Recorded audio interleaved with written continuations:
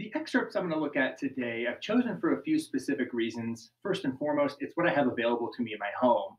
Normally, I'm used to being able to play on instruments provided by the symphony, as well as the high schools I teach at, things like marimba, timpani. I don't own those myself. Also, these will sound somewhat decent in my ad lib recording studio. I will hopefully avoid the bird chirps. I've been fighting some birds outside the window here. Uh, it kind of sounds pleasant, but FYI, I apologize. Uh, thirdly, though, this is a nice range of instruments that represents the various skills we need to have as concert percussionists. I'm going to be looking at the glockenspiel, also known as the orchestra or concert bells, the snare drum, as well as the tambourine. The Glockenspiel I talked about already a little bit with the Maestro, the historical aspects of it. This version is somewhat new compared to the older keyboard style Glockenspiels, which are really quite hard to find. The resulting issue, though, is that the keyboard style instrument with all the 10 fingers able to play lots of notes makes it harder for us as percussionists to do the same. So we have to invent things like three or four mallet technique, like in the Pines of Rome, to play that effectively, or various sticking patterns and practice strategies to be able to play accurately lots of notes in a short amount of time. The magic flute, of course, as an opera, has one other magic instrument, the magic bells. They're played by Papageno as a way to create safe passage on it, passage on its journey. And you can hear it really prominently towards the very end of Act One. This is the first piece ever written for the Glockenspiel, which I think is very interesting. And in fact, it took another 50, 60 years for the next thing to come along. I think it was Wagner uh, that started using the bells, and now we see it as a standard. But at some point, we had to slowly add that as part of the section. This instrument also is going to use really specialty mallets. These are the magic flute mallets made by Equilibrium Percussion, which is actually uh, founded by Michael Udow, former professor of percussion at the University of Michigan. He now lives down the road in Boulder County in Colorado, which I find interesting. But these mallets are skinnier in width, shorter in length, and have really small beads made out of brass. All of these things designed to create a dainty magical, almost fairy like sound, which we'd expect from something like Magic Bells from the opera. It sounds like this.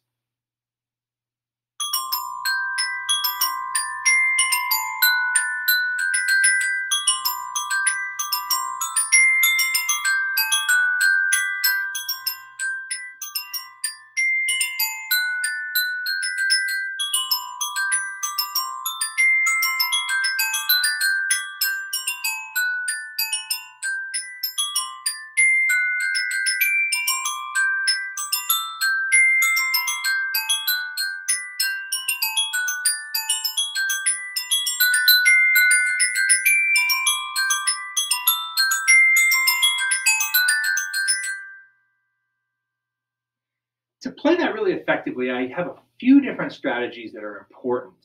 Mallet percussion is one of the hardest instruments in terms of pitch accuracy because of what I call the disconnect. In other words, every time I come to the instrument and come away, my perspective of where exactly the notes are changes. Add into that things like foot shifts, for example, especially on larger instruments like the marimba or the vibraphone, and I have to really be ready to adjust. Also, every instrument is a little bit different. Every mallet set is a little different. So all these things make it hard to make it accurate. In fact, this is a Musser Glockenspiel, but it's a different model than the Musser Glockenspiel that the Cheyenne Symphony owns. So I really have to use a couple strategies to help myself. One of those is to practice at really slow tempos. Muscle memory is great because it helps you to get over the hump as you're learning and becoming familiar with new music. The problem is muscle memory is actually the enemy of really refined uh, performance. So I'm going to grab my metronome, something I practice with religiously, and I'm going to go at half tempo. This is going to be 45 beats per minute compared to the normal roughly 90 beats per minute that that excerpt is usually played at. I'm not going to do the whole thing because it's pretty long, but you'll get the idea.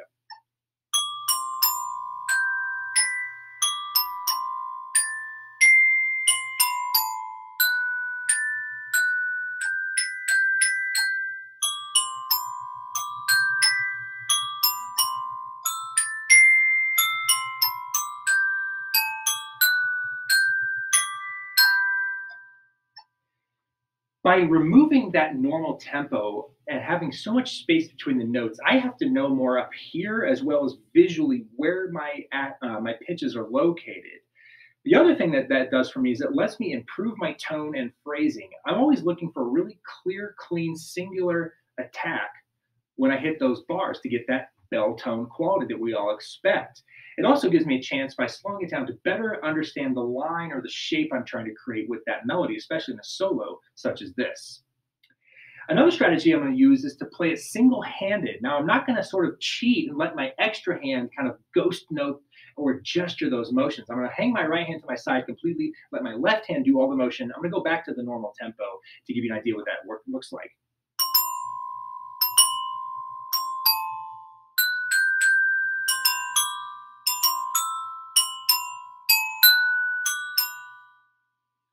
Once again, I'm not able to use muscle memory in the same sense because I don't have the same full package of motion happening. Additionally, it's going to help me work on a little bit more abstract rhythms, and it's going to allow me by being able to focus just in on that one hand, maybe some technique errors that might be present when I whereas I don't notice that doing both hands together. So those are a couple strategies that are really helpful. I would also use those on the snare drum, but I'll show you a couple other things that make this instrument uh, really, really work. First and foremost, is to get the right kind of instrument. Just like the mallets I'm using on that Glockenspiel, I'm going to be using for the Scheherazade Movement 3 some sticks with really small beads because I want a delicate, small, articulate sound. I'm also going to be using a drum that's a little bit uh, narrower and shallower, as well as heads that are thinner than you maybe have on a standard orchestral snare, and certainly like on a drum set snare drum. Now, those snare guts are there to make the sound initially deeper, more articulate, louder. If I take the snares off and play, sounds okay. Turn those snares on, you'll notice an immediate sound change, but as well that again that thicker, deeper, articulate, louder sound. Now I'm using a chamois cloth here for this excerpt, mostly to help it sound decent in this recording, um, but nonetheless it's going to thin my sound out even more as I play such a quiet volume in Scheherazade Movement 3. To play this effectively, I'm going to actually use another little trick. Now on the mallets, I'm playing the melody there. I don't have to necessarily think that along in my head. But on snare drumming, I don't have a pitch-oriented instrument here. So something like the duet in Scheherazade with the clarinet, I'm gonna actually sing, whistle, sometimes I hum that sound out to make sure that I'm really lined up with the shaping and phrasing and balance with that player.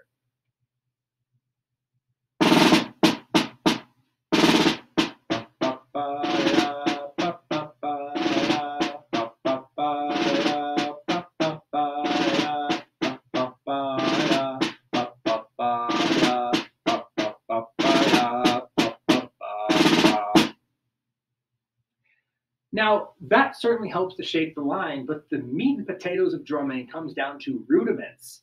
Rudiments are essentially the vocabulary we use to create longer lines of music. And rudiments, there's, a, there's officially 40 of them, but they've been around for many, many, many years. I think they were formalized into 40 rudiments uh, about 100 years ago. But even going back into uh, Swiss drumming, the people that invented the snare drum, they were using rudiments back then. Even today, rudiments are still being invented. Some of the more popular ones have some wacky names, such as cheese de. That's right, cheese. Uh, also, grandmas. Um, but the 40 official rudiments are a collection of different sounds to create, again, that line. One category are sticking rudiments. In other words, combinations of rights and lefts, the paradiddle being the most famous. Right, left, right, right, left, right, left, left, paradiddle, paradiddle.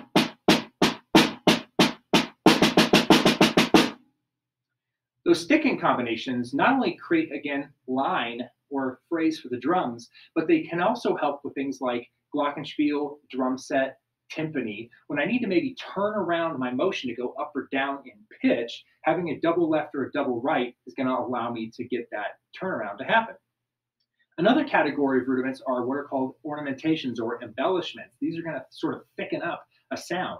A regular tone can sound thicker with a flam where I add a little grace note, even thicker as a rough or a drag. And again, the end of Scheherazade movement three, we see some really quiet drags, which are really fun to play. And a final category, which I want to look at, are roll rudiments. A roll in percussion is the illusion of sustain or duration by lots of frequent notes. Some of our instruments, like a vibraphone, have some sustain to them naturally, but a lot of them, like a snare drum, are very short sounds. So we create this illusion to make that length happen. It's also unique sounding itself and is worth using them just for that purpose alone. On a glockenspiel, if I played a roll, I would use a single stroke roll, which is just a quick alternation of the mallets, like a dinner bell going off. You see that most commonly in percussion, bongo drums, timpani, suspended cymbals, especially. Drumming doesn't use that too much, or at least in snare drums, I should say. Instead, we use two different kinds of rolls. One is the buzz roll, also known as the multiple bounce or closed roll. Another excerpt from Scheherazade Movement 3. Also in that excerpt, I used an open stroke or double stroke roll, specifically a seven stroke open roll, if you listen closely, there are seven individual hits, but notice I didn't motion seven times. What I did was a two for one stroke, where it's one gesture into the drum. That's those two sounds. This is really common, especially in rudimental drumming, like you see in a marching band's drum line. So those are all going to help me to play the parts, not just in Scheherazade, but many different types of solos, etudes. They're really important to being able to create, again, shape and line and embellishment in a snare drum part beyond just playing the core rhythms that, of course, we also have to do quite a bit of. The final instrument I was going to look like look at is the tambourine. And the reason I chose this is because it's sort of underrated. A lot of accessory or auxiliary percussion is so commonplace and they're small and simple. We tend to not give them as much credit as we would more difficult drums and mallet instruments. But this is such an important instrument in part because it's worldwide and it's ancient. You can see Greek pottery with pictures of people with the tambourine. And across the globe, there are people, even especially like in the Middle East, that are tambourine players professionally that really just play this one instrument, of course, with different names and different sizes, different shapes, different amounts of jingles, some with heads, some without. But it's a really universal instrument, which I think is a, a pretty cool. It connects us with the bigger percussion community. Now, a tambourine, of course, is not that hard to make a decent sound without much without without much effort. Not hard, sounds good. But to play it with a refinement and an expertise is what I wanted to show you today. Now, I already mentioned rolls. Now, the tambourine is a little different because we have two different types of rolls that are pretty unique to this instrument. One is the shake roll. That's just a quick alternation of the wrist back and forth, like you were trying to jiggle a doorknob that's stubborn, for example. Now, the key there is to make sure that I, have a balance of motion and angle so one side of the uh, motion doesn't sound heavier and separated compared to the other side. Another type of roll is the thumb or finger roll. These are lots of fun to play. Once you get good at it, it takes a little bit of time. The idea is that you're going to uh, use your finger or thumb to sort of skip across the head like a rock being skipped across the surface of a pond. Sounds like this.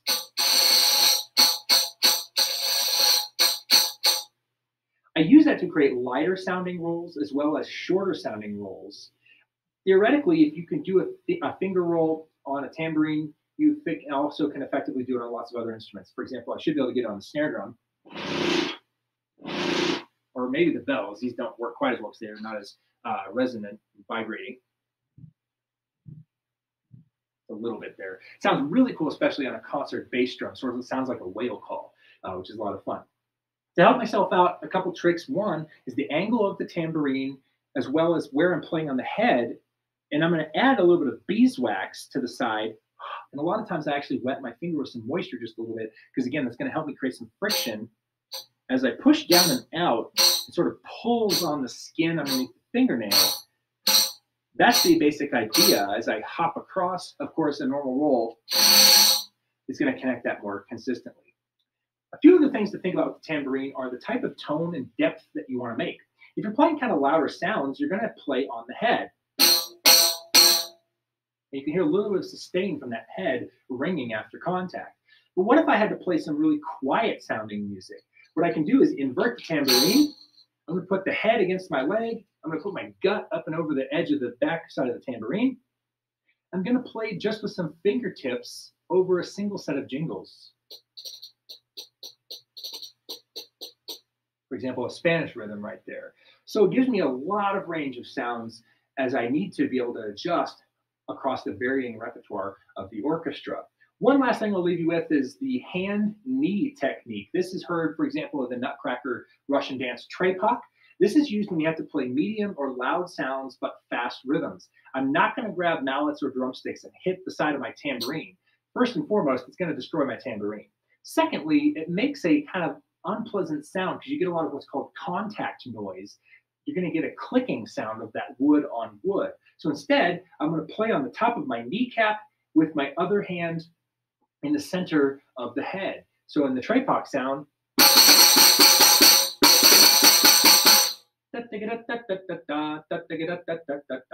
I'm doubling that rhythm on the tambourine, but I can only do that with this special sound because eventually I'm going to run out of chops to be able to play that just single-handedly fast enough. So it's a really fun technique that I like to show people and help them learn that things like the tambourine or castanets or triangle, though they are small, though they are more simple, they have a lot of depth behind them. And I like to uh, educate people and entertain them a little bit with some of those tidbits. Thanks for watching. I hope this was informative to you, and I hope you enjoyed learning a little bit about what it takes to be an orchestral percussionist.